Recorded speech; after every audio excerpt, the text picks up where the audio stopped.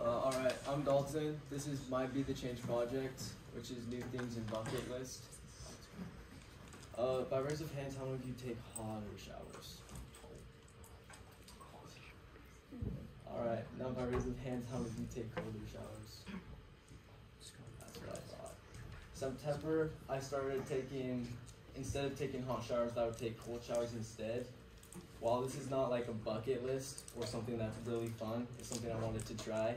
And so when I first started getting off in the shower, was hard and I didn't want to do it.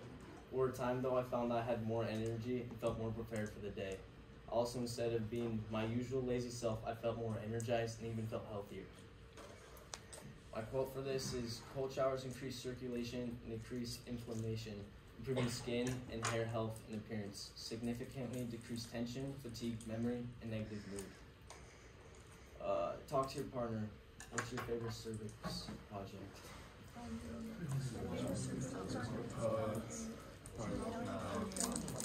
Probably like. It just depends.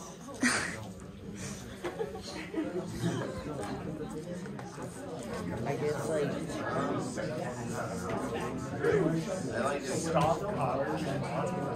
Alright. Uh,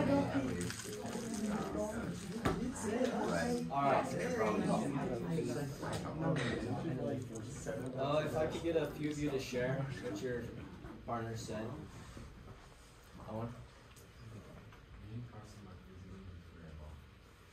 That's nice.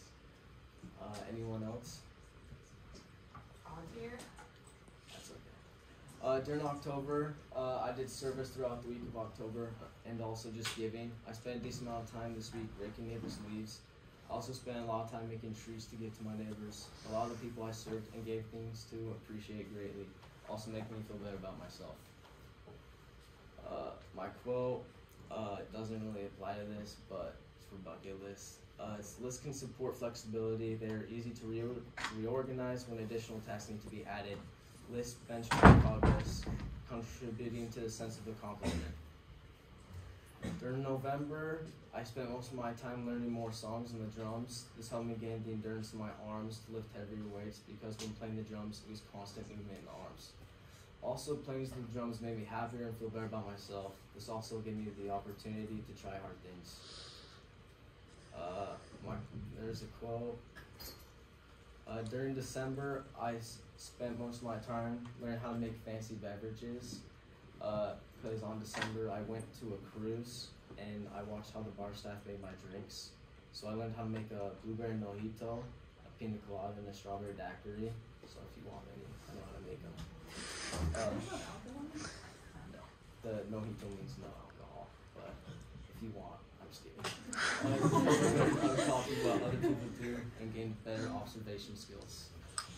I have another quote, and that's it.